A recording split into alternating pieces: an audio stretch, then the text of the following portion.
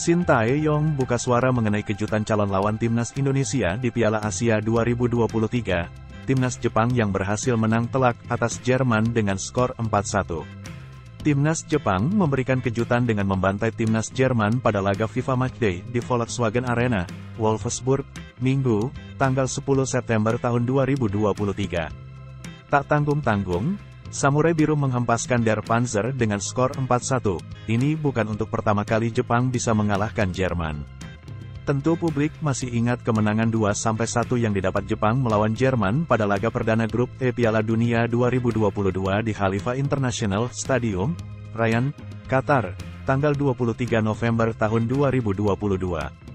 Hasil ini juga jadi sinyal buruk buat timnas Indonesia yang jadi calon lawan di grup D Piala Asia 2023. Kurang lebih empat bulan lagi penyelenggaraan Piala Asia 2023 yang dihelat Januari tahun 2024, Jepang bisa mengalahkan raksasa dunia. Sementara timnas Indonesia juga sebenarnya cukup baik karena mengalahkan Turkmenistan dengan skor 2-0 di FIFA Matchday September tahun 2023. Pelatih timnas Indonesia, Shin Tae-yong menanggapi santai hasil Jepang yang menang atas Jerman. Ditemui saat memimpin latihan timnas U23 Indonesia di Stadion Sriwedari, Solo, Sintayong menganggap Jepang sangat berkualitas karena pelatih Haji Memoriyasu sudah menukanginya lama.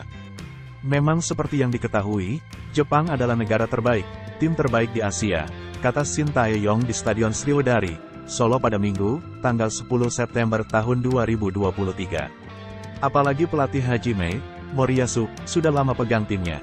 Dengan pemain Jepang, Pemain Jepang juga banyak pengalaman di Eropa, tambahnya.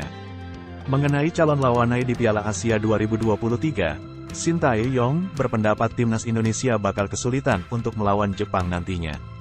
Jadi memang sangat sulit bagi kita, timnas Indonesia, melawan mereka, Jepang, kata Shin Tae-yong. Jadi tanggapan saya tim Jepang sangat baik, tambahnya.